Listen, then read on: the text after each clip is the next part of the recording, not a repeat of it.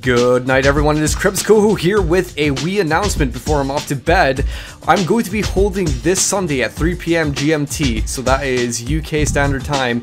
I'm going to be holding a DayZ event. If you don't know what DayZ is, it's a mod for Arma 2, which is basically zombies in a realistic, persistent world. It is a lot of fun. Somebody recommended it, to me today, and I've been having a lot of fun. So I'm gonna be uh, doing this for you guys so that this Sunday, uh, whoever's actually got Arma 2 and the DayZ mod, we can all play in this large server. I'm gonna open it up to, I don't know, maybe like 40 people or something like that, and we're all gonna be playing for the next few hours uh, from 3 p.m. that day.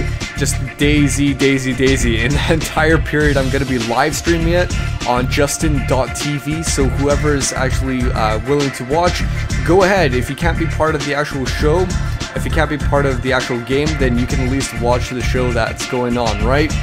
Uh, it's going to be a lot of fun. TeamSpeak's also going to be open, the TeamSpeak server, and all the details, if you want to find out anything more about it, is going to be in the description box below. Likewise, the Facebook book, uh, the Facebook group will also have uh, persistent updates on there as well. Okay, so if you have any questions, feel free to ask them below. If not, I will catch you on Sunday at 3 p.m. GMT.